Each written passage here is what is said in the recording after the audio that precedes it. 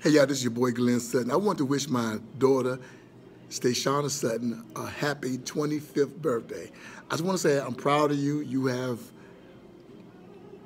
hmm, you have made some right decision. And I just want to say that I'm, on behalf of your mom and I and your brother, we're just so proud of you of all the success that you had. I know you probably felt like that when you was growing up, we was too protective, but but you're a diamond and diamonds, we, you protect diamonds. And as a father, I have to make sure that you know when you go to the next level, that hey, you you worth you worth every price that someone gonna pay for you. I believe that, especially uh, my son-in-law, and I pray for him too. But anyway, baby, I appreciate you.